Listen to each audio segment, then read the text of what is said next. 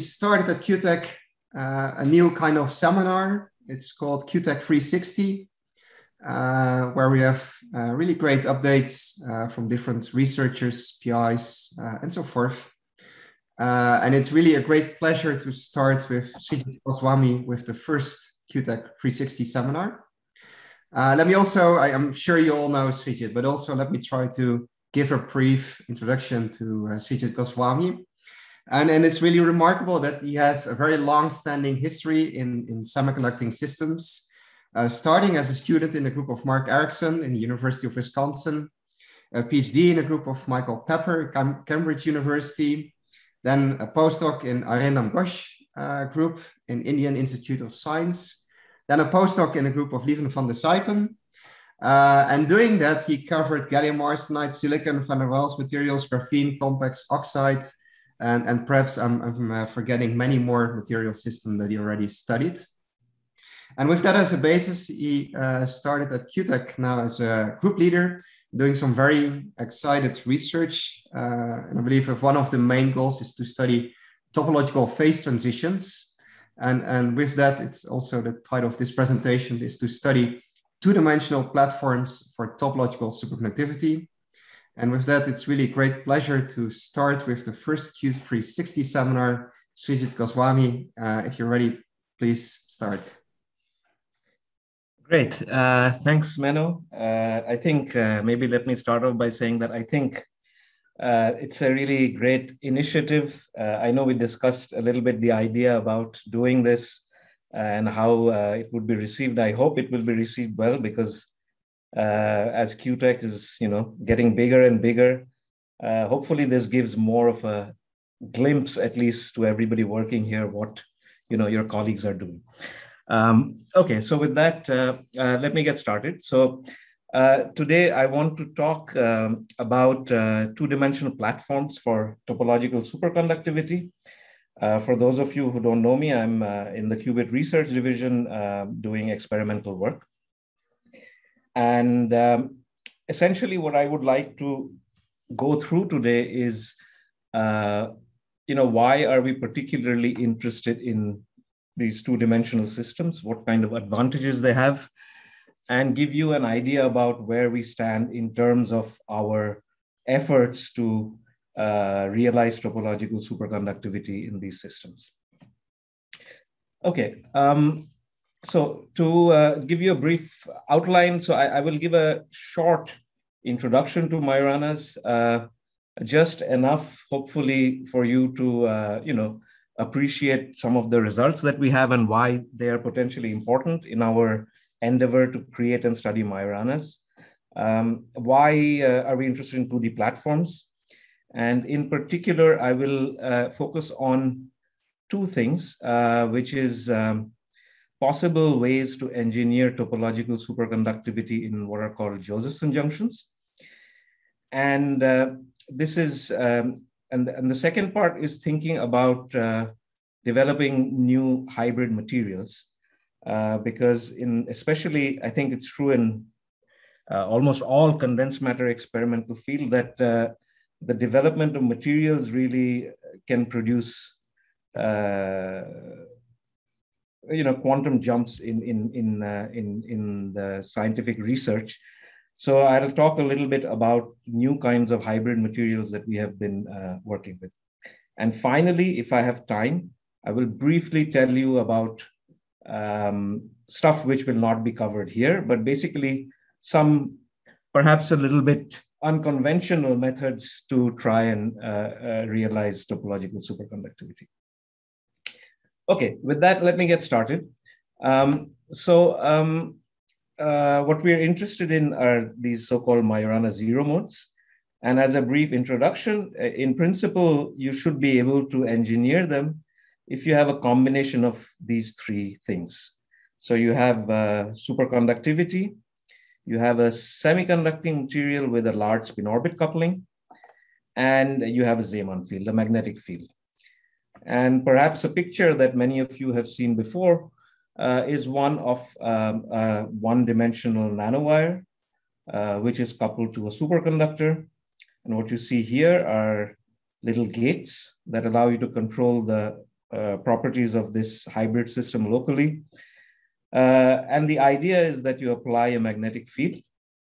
And uh, at some point, you would expect to see these uh, localized Majoranas.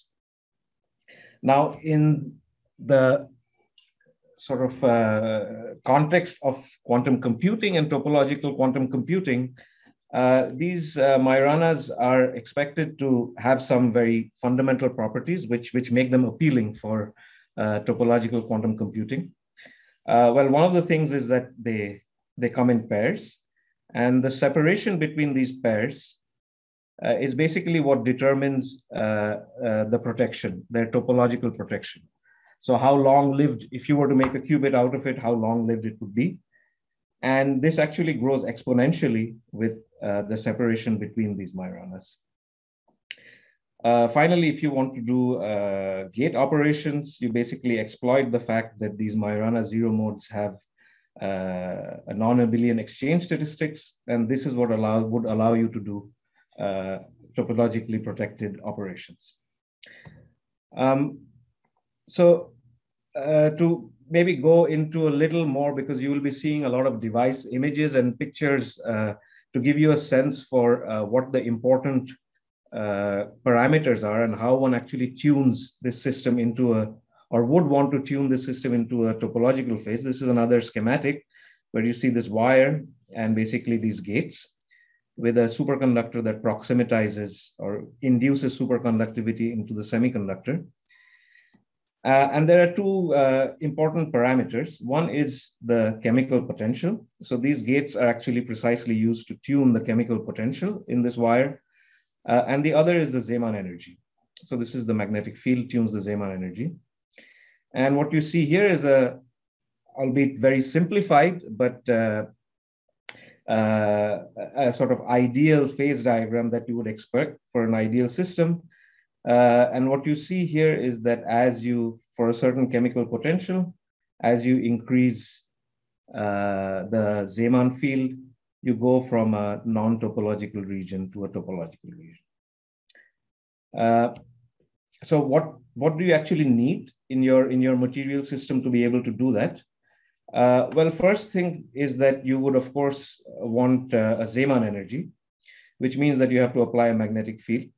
And ideally, what you would like is spin orbit uh, is uh, semiconductor materials which have a large G factor. This is simply because this allows you to enter this topological phase at much lower magnetic fields, uh, which make it compatible with superconductivity. Uh, the second important parameter, which we will also be talking about a bit more, is, is this strong spin orbit coupling. And this is actually one of the uh, important uh, properties that determines how well these Majoranas are localized. So it uh, can be quantified by what is called this localization length. And it basically scales inversely as this parameter alpha, which uh, characterizes the spin orbit length. And you can imagine that what you ideally want uh, is uh, the overlap between these wave functions of the two Majoranas to be as small as possible. And this then gives you this, this uh, strong protection. Uh, so in terms of the kind of materials you would like to look at, uh, you, you're looking for materials or hybrid systems which have a large G factor, a strong spin orbit coupling. And uh, there is another important element here, which is that over the years, people have basically realized that the interface between this superconductor and semiconductor is very crucial. Uh, so it's very important to have very clean interfaces uh, between these two.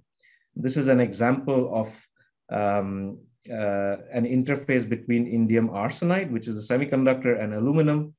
And what you basically see in this uh, transmission electron microscopy image is that you can indeed make extremely clean interfaces between these two now.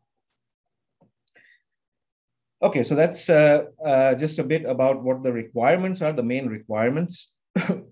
Uh, and uh, uh, also to give you an idea about what a typical measurement would look like if you're trying to measure these, uh, these. Uh, it's again another schematic here of what you see here is now a nanowire, uh, which is coupled to a superconductor. So this is this would be the superconductor. These gates basically create a tunnel barrier here, which allows you to do a local density of states measurement. And this is a gate that tunes the chemical potential. So that's the other parameter that we need to be able to tune. And this is just a schematic of what we do. We apply a voltage and uh, try to measure the local density of states at this point here.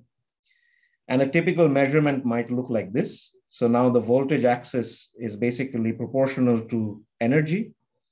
And these are, would be several plots uh, for increasing magnetic fields.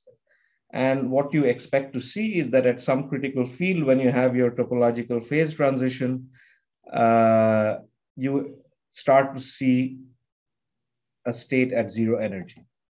Uh, so at low magnetic fields, you don't see anything because this is what a superconducting density of states looks like. It's gapped. And then at, at finite magnetic field, when you have a topological transition, you expect to see this. Uh, so these are, these are, of course, typical measurements. Now I will, uh, this talk is not dedicated to all the uh, caveats of this. Uh, we all know that uh, seeing something like this is uh, uh, actually not sufficient for sure, but may not even be necessary. Uh, but but this is you know one of the typical measurements that one does to probe the local local density of states.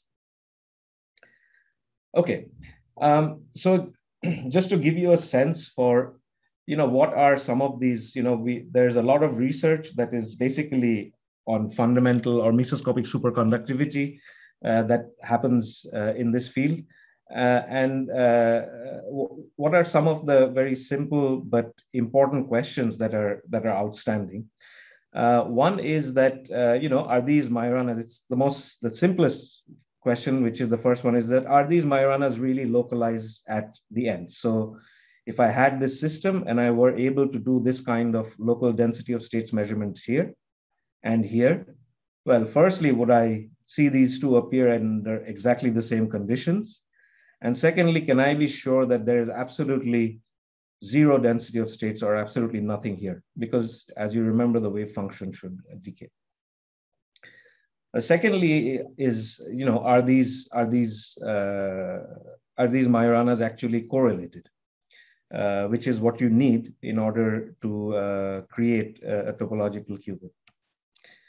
Uh, the other interesting question is that are there other architectures that move beyond this kind of nanowire picture, right? So, you know, can we, are there other ways to create Majoranas which do not uh, use nanowires?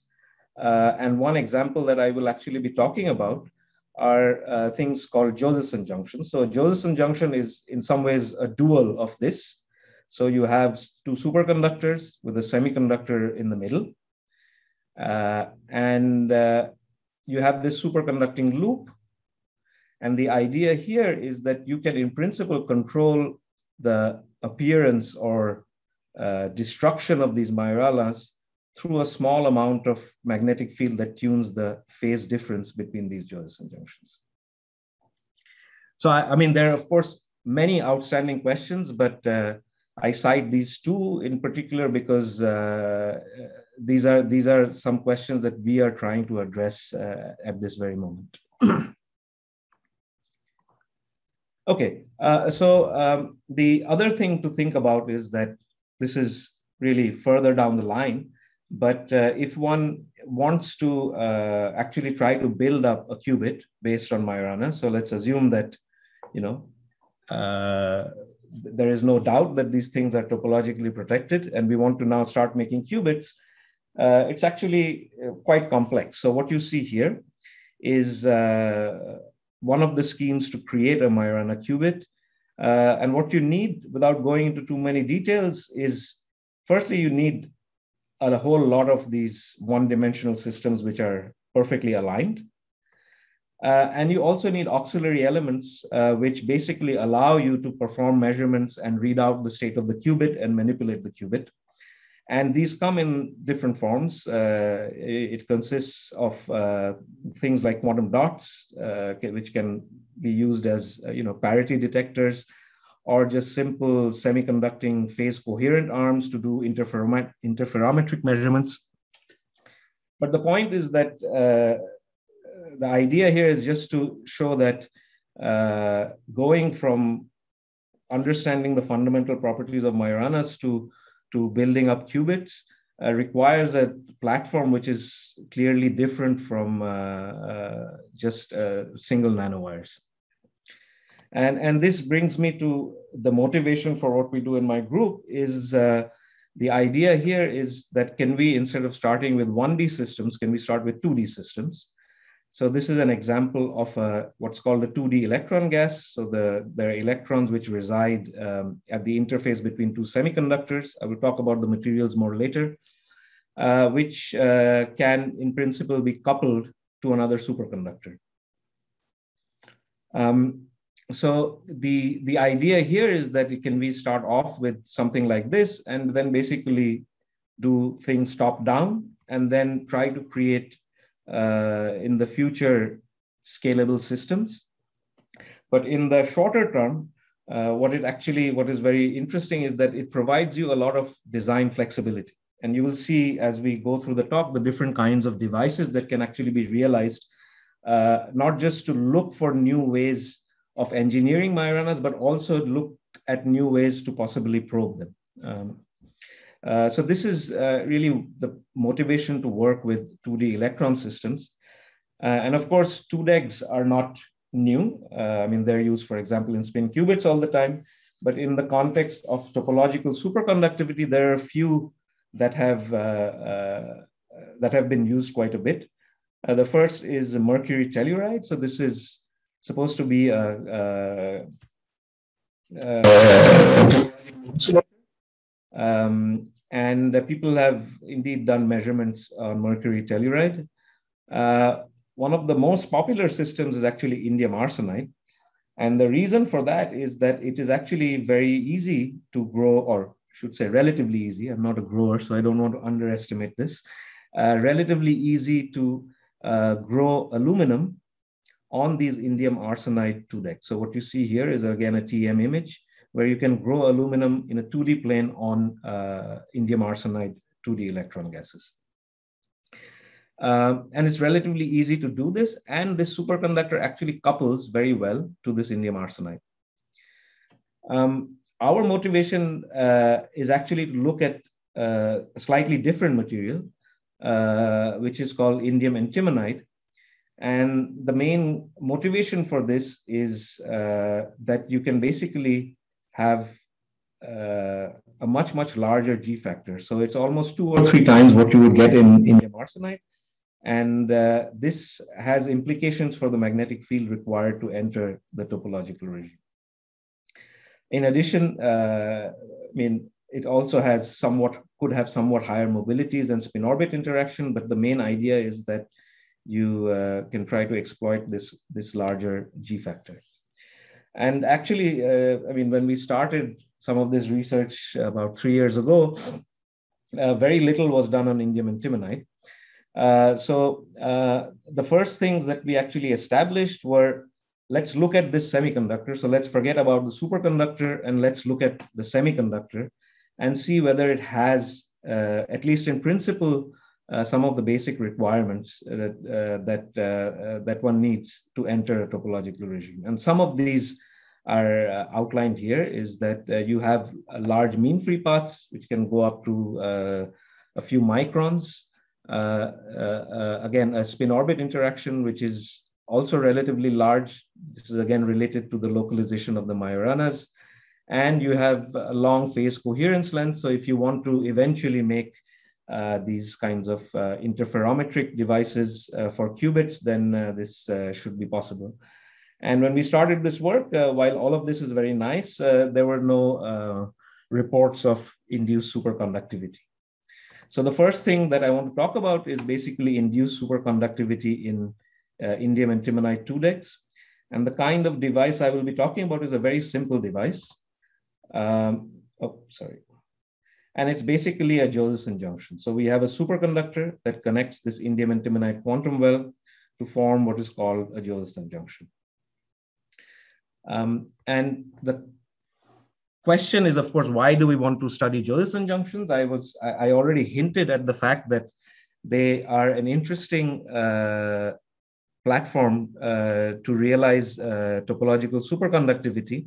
What you see here is a sketch of a Josephson junction. So you have two superconductors, uh, and the idea is when you apply a magnetic field in this direction, you expect to form Majoranas here. Um, the nice thing about these junctions is that in principle, uh, what you can do is when you apply a magnetic field, so you see the Zeeman energy on this axis, you can actually enter uh, what is called a self-tuned topological phase. So you don't have to do any fine tuning, for example, of your chemical potential. Uh, and this is what is represented here. So let me quickly tell you what this plot means. Uh, essentially, what you have, this diamond represents uh, represents uh, the region which is topological. And what you see here is the phase difference across the superconductor. And essentially what happens is that as you start increasing your magnetic field, you expect to actually jump into this topological regime at some critical magnetic field. And this magnetic field is, uh, is, is basically, and this transition, one of the indicators of this is that if you look at the critical current across this junction, uh, you expect it to be non-monotonic. I'll talk about this more later. Uh, the other interesting thing is that you can, of course, impose a phase difference across the junction. So for example, by making a loop. And what you then expect is, again, you see these diamonds, which are topologically protected, uh, that now, contrary to the phase diagram you saw earlier for these wires, uh, you can see that if I tune my phase difference here to precisely pi, I can actually enter the topological regime at arbitrarily, in principle, arbitrarily small uh, magnetic fields. And this, this, this could be a real benefit to engineer Majoranas. Uh, furthermore, the phase actually gives me a knob. So if I want to go in and out of the topological phase, it, I can do it by just applying small magnetic fields that control the flux across a loop here. Okay, let me let me skip this uh, and and move on. So this is this was really the motivation for us to make these Josephson junctions. Uh, just to tell you again what the device looks like. Again, we contacted basically now externally with a superconductor and uh, look at the transport properties through this Josephson junction as a function of a gate voltage which tunes the density here. Uh, these are some basic checks. You can apply small magnetic fields and you see a typical interference pattern in a Josephson junction. This is called a Fraunhofer interference pattern. And uh, basic checks to show that you can actually tune uh, the supercurrent uh, using the gate. So for those who are not familiar with plots like this, just to quickly tell you that these dark regions indicate superconductivity because the differential resistance is zero. And the light regions here indicate that you have switched out of your superconducting branch. Um, okay, since these were the first Josephson junctions in this system, yeah, we needed to do these simple checks. Uh, what we also did was we made arrays of junctions to test basically what is the quality, the device quality in terms of uh, mobilities of these Josephson junctions. And uh, you can essentially measure the critical current of the junction. So the, jun the point at which it goes out of this zero resistance state and do this for several lengths. And there have for a long time been some predictions that depending on whether you are in the ballistic or diffusive regime, this product of the critical current and the slope here, which is the normal state resistance, should follow a very specific scaling. Uh, and what you see in this plot is that uh, indeed we see for our highest quality samples that it follows this one over L scaling of this, this product Whereas for the lower mobility samples, it follows a one over L square, which is indicative of diffusive.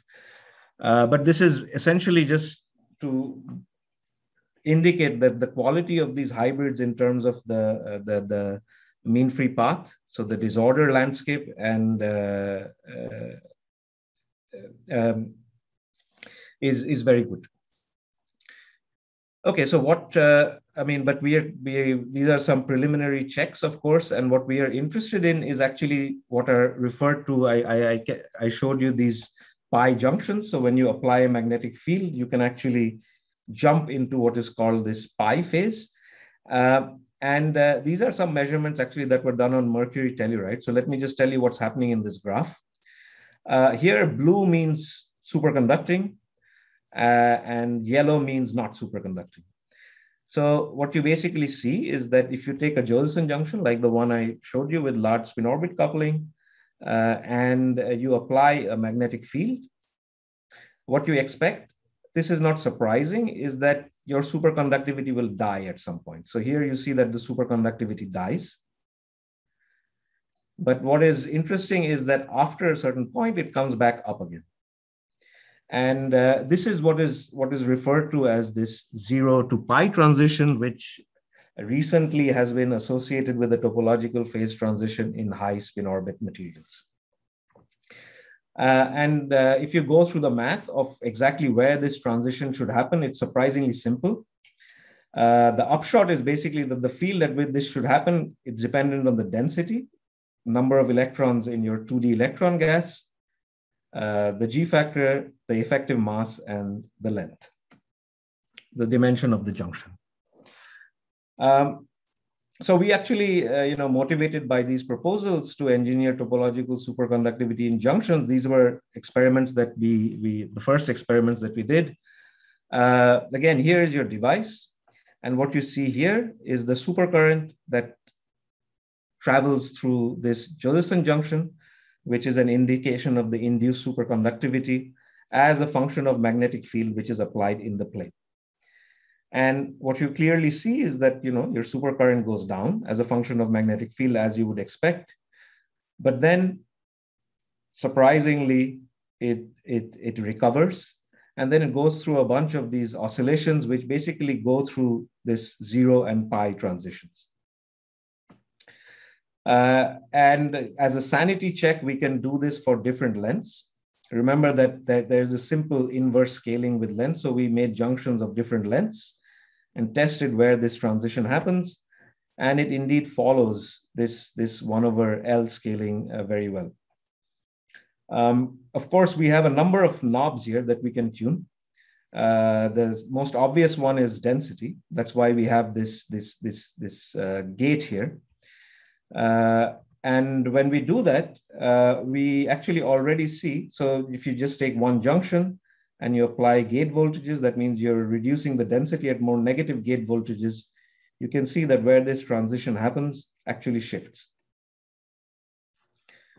Um, so one can be actually more, more quantitative about this, and we can do a, a measurement in a slightly different way, uh, which is that let us fix the magnetic field.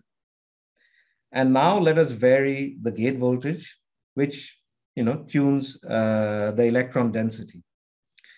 And typically what you would expect in a Josephson junction, remember the black parts indicate superconductivity, is that as you reduce the density, you basically reduce uh, the number of carriers. So you expect that the efficiency with which you carry supercurrent reduces. Uh, so you basically expect this to monotonically go down and die out at some point.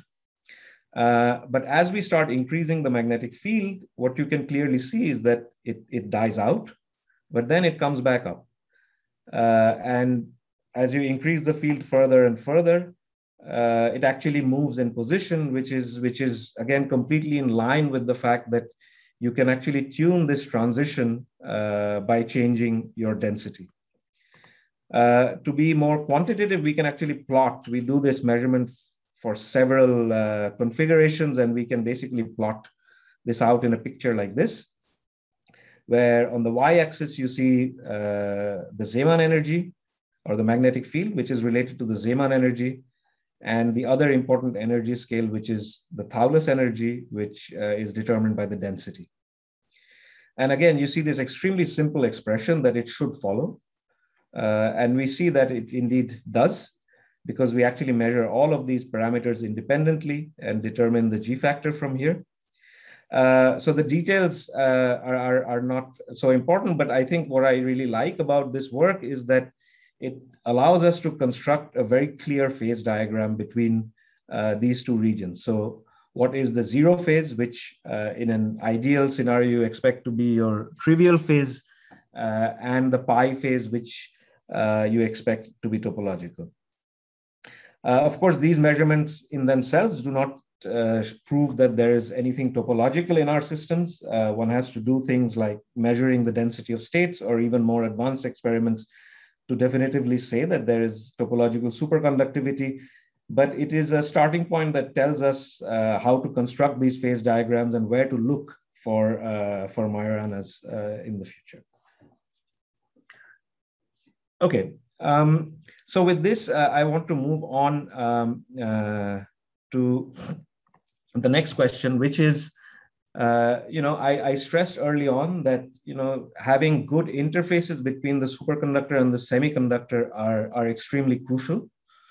Uh, and uh, uh the question is, uh, can we, and, you know, these, these devices that we had made were actually, let's say, a bit by brute force, where we, you know, damage the semiconductor and put some superconductor on it. So the question is, can we actually make these pristine interfaces uh, between the semiconductor and superconductor, uh, you know, to have uh, cleaner devices? So uh, we have been looking. We spent quite some time thinking that you know these these these indium antimonide wells look so great. Why don't we just put some aluminum and uh, see whether there is an induced superconductivity? Unfortunately, the answer was no. Uh, the next idea was okay, why don't we just make this barrier thinner and thinner to more efficiently couple this aluminum to the indium antimonide? Maybe then we get induced superconductivity, but it didn't work. We actually then said, okay, forget about all this. Let's actually put aluminum right on the indium antimonide. And unfortunately, even these did not show us any superconductivity. I don't want to go into the possible reasons for this, but uh, we believe that it has to do with the specific material properties of indium antimonide and aluminum, where essentially, um, uh, depending on what semiconductor you have, uh, the interface states here can be can be very different. So, for example, in something like indium arsenide, it's very easy to accumulate carriers at this interface. In indium antimonide, uh, it's believed to be harder. Um, okay so so how does one actually get around this? So what you know can we still i mean we were interested in indium antimonide because of its uh, large g factor. Can we get around this uh, and have uh, you know clean interfaces large spin orbit coupling and yet this large g factor? Uh, and this actually motivated us to look into these compounds which are which are called ternary uh, materials so these are uh, basically not not, not pure indium arsenide or pure indium antimonide. Uh, so these are called ternary materials where you have some concentration of antimony and some concentration of arsenic. Um, and what this basically allows is that incorporating the small amount of arsenic actually change the semiconductor band structure precisely in such a way that it allows you to uh, induce uh, superconductivity into your system. Um, and uh, as a bonus, actually these, uh, these compounds in fact have significantly larger spin orbit coupling than either indium arsenide or indium antimonide. Um, so to uh, basically verify this, we actually studied this in, in some more detail. Uh, let me let me skip these measurements. These are basically uh, a way. So what you see here is the resistance versus magnetic field.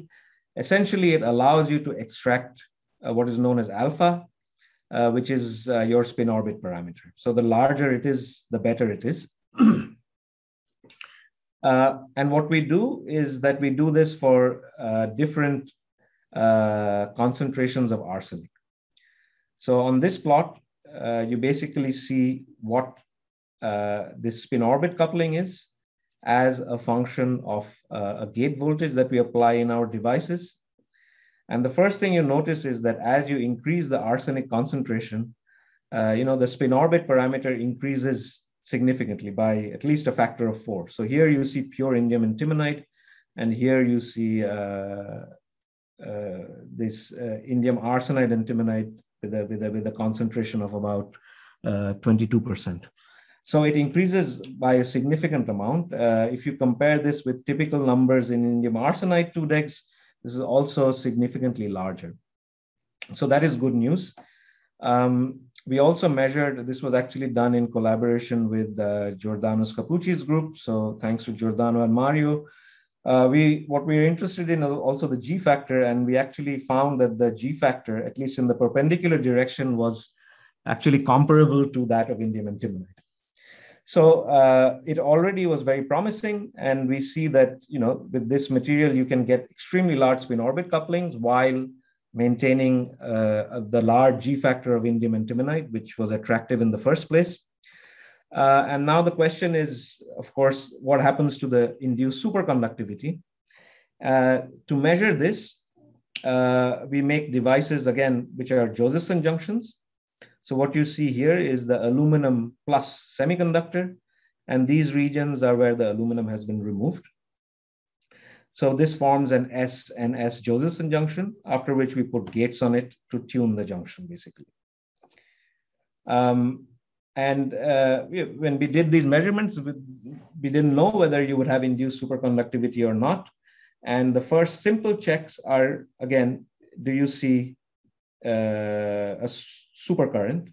And these are similar measurements that I showed you before in indium antimonide, uh, is that you indeed see induced superconductivity. You can control it with your gate basic checks. Um, you can also do some uh, measurements as a function of voltage bias. Uh, again, the details are not so important. These are multiple Andreev reflections.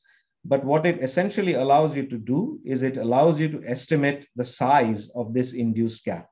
So I have a parent superconductor and a semiconductor here. So what is the size of the induced gap inside this semiconductor? And this actually indirectly tells you something about the transparency between uh, at this interface. Uh, so what we find is, uh, I didn't put it here, but we find what we find is that the induced gap is actually quite close to the gap of the parent superconductor. So we indeed can make extremely transparent Josephson junction, which means that the coupling between our superconductor and semiconductor is good. Um, uh, finally, I mean, this in itself is, is, is not enough. What you actually would like to do is you would like to actually measure the density of states in this hybrid system directly. And in order to do this, uh, it's actually fairly simple. You have these top gates uh, which are split gates, which control the electrostatic profile here. And if, basically, if you zoom in here, you can see that you can create a tunnel barrier here. So the idea is that you do a tunnel spectroscopy measurement, and this will tell you what the density of states is uh, in this proximitized region.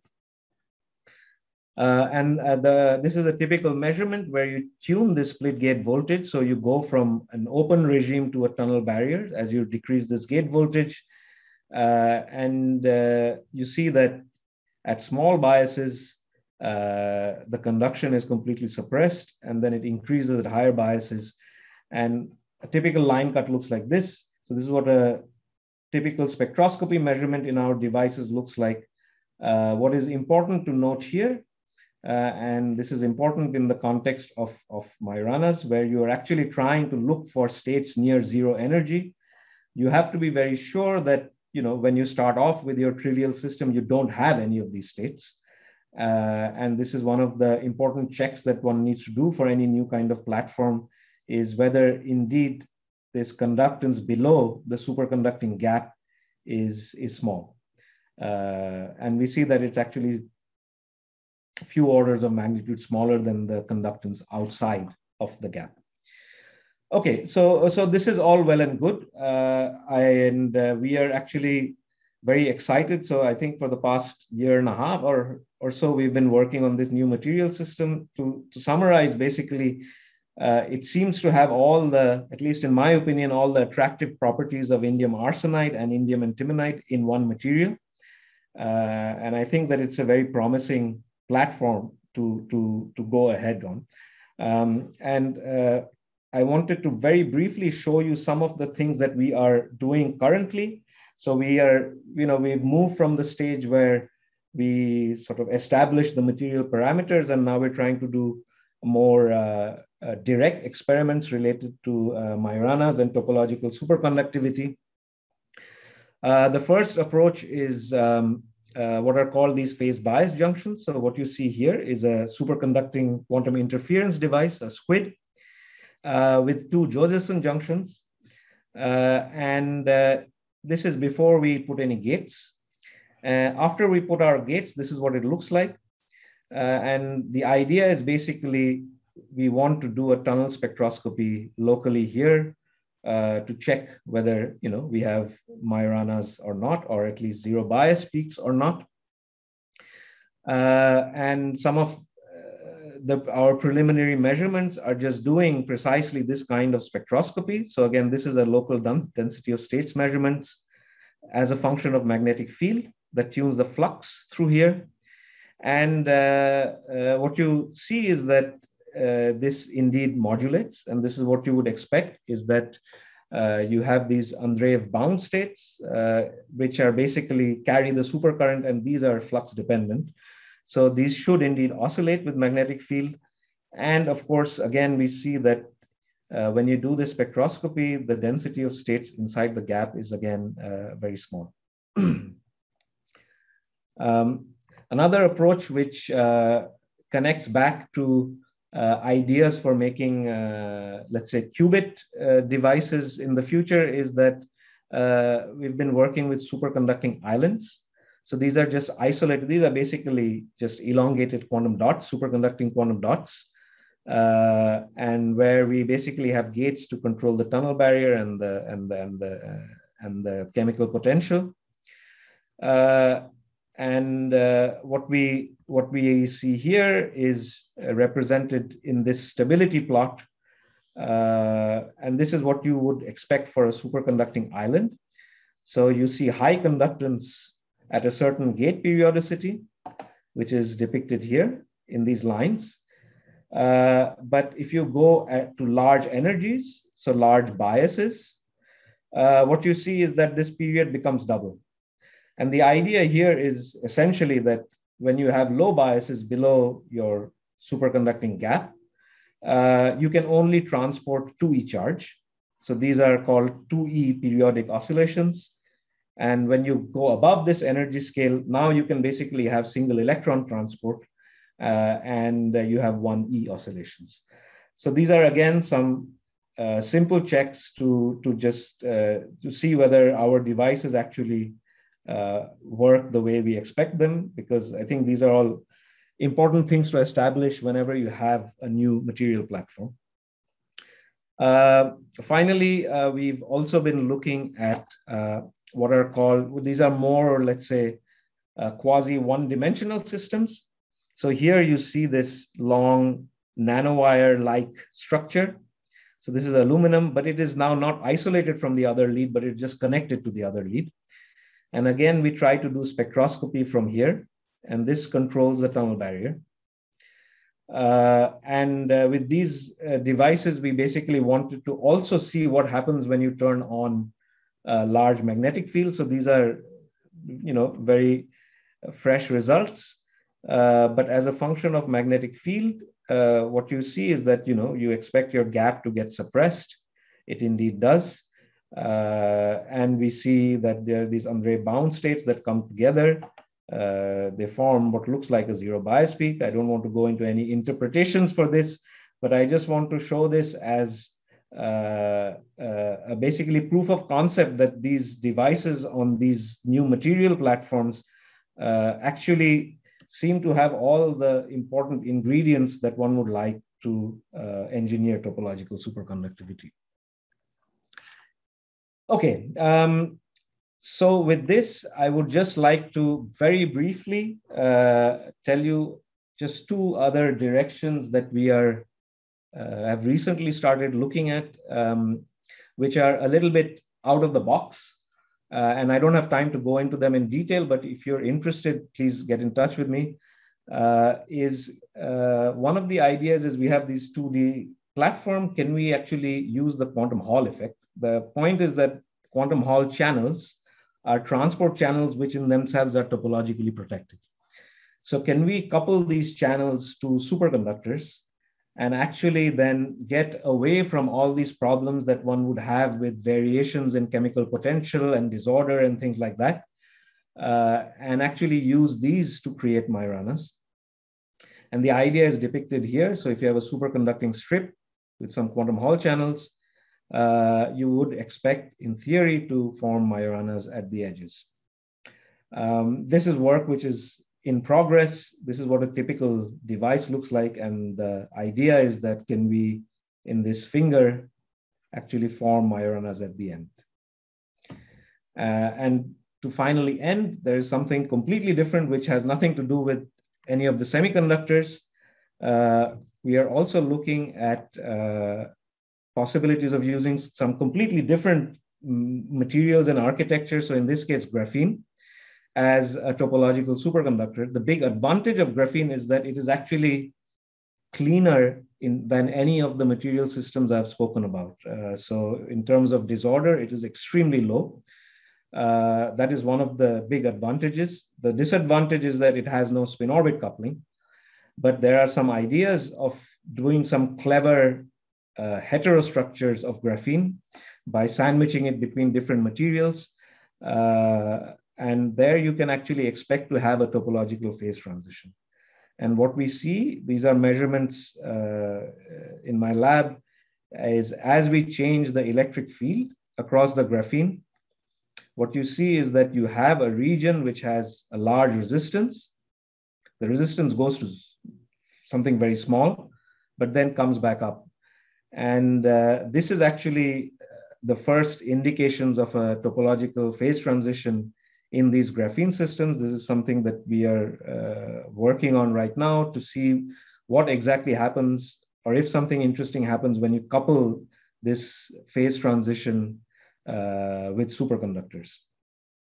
Okay, so with this, uh, let me let me stop. I just want to briefly say that I think uh, hopefully I've put across the point that you know 2D platforms are extremely versatile uh, to explore different realizations of topological superconductivity. This is, I think, very crucial, especially in this field, because uh, you know there's it's still an open question uh, you know, what is precisely the right way to approach uh, the engineering of Majoranas and eventually topological qubits.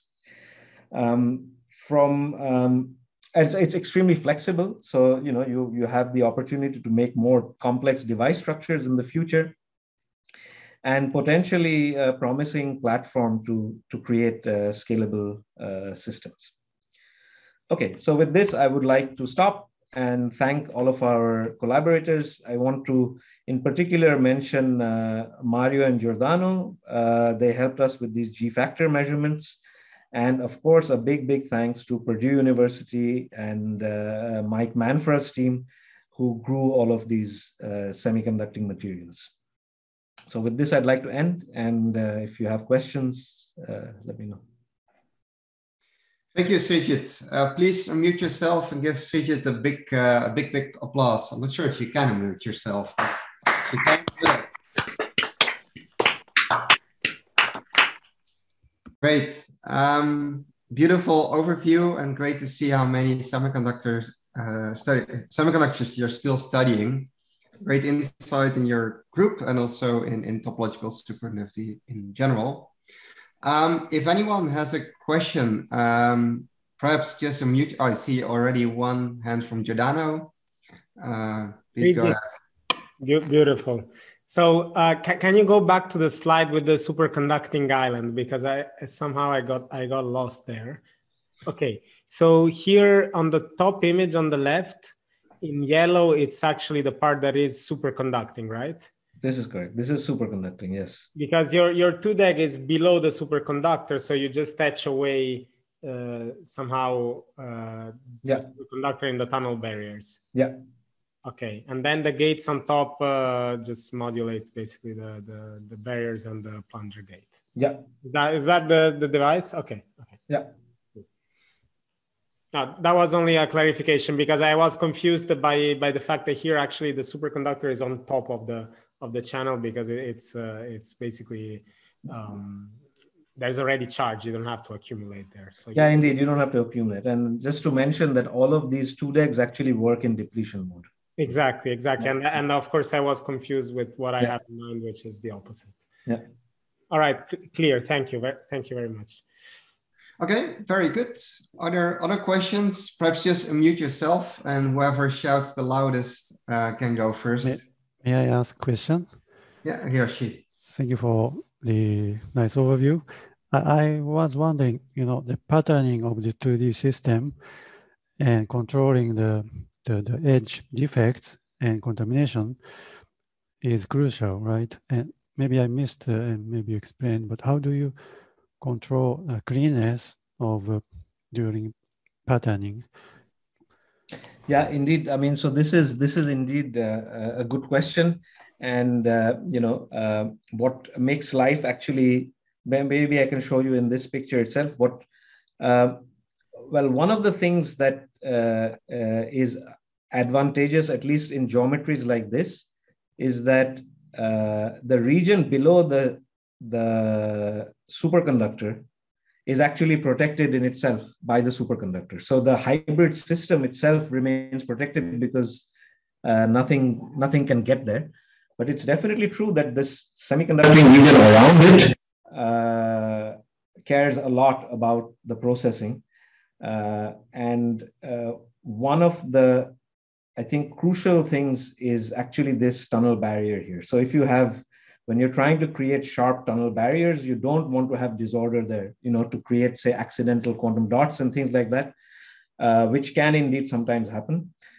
So um, yeah, so so it definitely is is something that uh, we are aware of. Uh, we don't know to what extent it is limiting us or will limit us. Um, I should actually point out uh, there are actually other approaches uh, which are not based on 2DEGs at the moment, but based on nanowires, which are very nice, where they actually have smart ways of creating, uh, this is in, in Leo's group, smart ways of creating uh, structures where you actually don't have to do any processing at all. So you can deposit things at angles with walls in such a way that uh, there is no requirement for any of this processing.